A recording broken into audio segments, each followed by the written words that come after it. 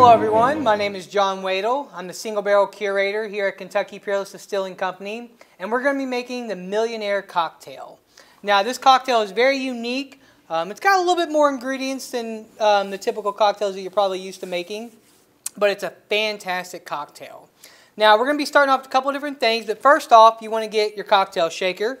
We're going to go ahead, fill that up, just a couple scoops of ice. Next, we're going to get our Peerless Small Batch Rye that we're using here. You're going to want to add about two ounces of that into your cocktail shaker. Then we're going to get triple sec. Uh, you're going to only want to add about an ounce of this inside of there. And it's just an orange liqueur, basically, is all this is.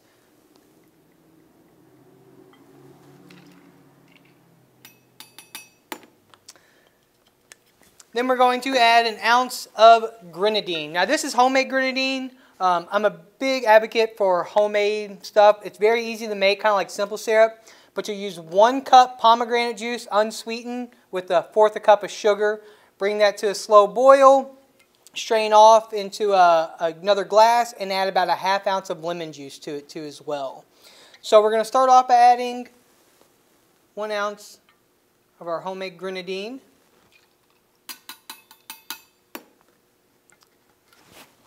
Then we're also going to be using absinthe. Now you only want about two teaspoons, I'm sorry, a teaspoon of this in there. Uh, I have some absinthe here. I'm just going to put a couple dashes in here. It's going to be about the same much as a teaspoon that I'm putting in.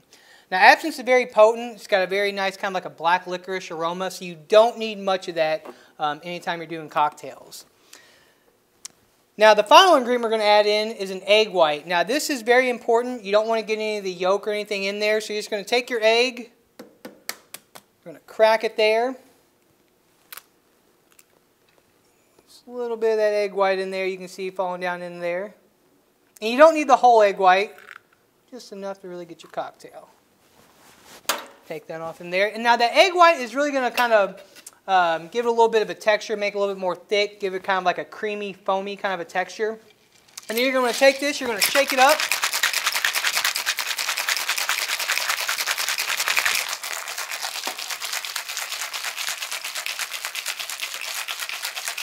And you're just trying to get that shaker nice, good, and cold and frosty on the outside there. Pop that top off. Now, you're going to want to strain this into a coupe glass. Now, anytime you're using egg white, I like to double strain, which I'll show you that here in just a second.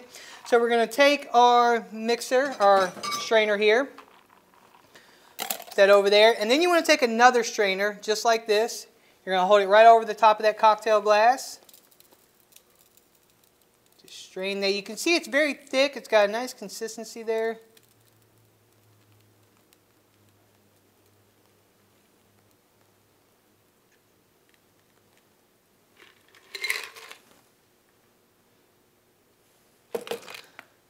Then we're going to top that off with a little lemon twist. Take that wedge, you can kind of see, let those oils go around every there. Now I like to wipe that around the glass a little bit and just throw right in. And you have yourself millionaire cocktail. Cheers.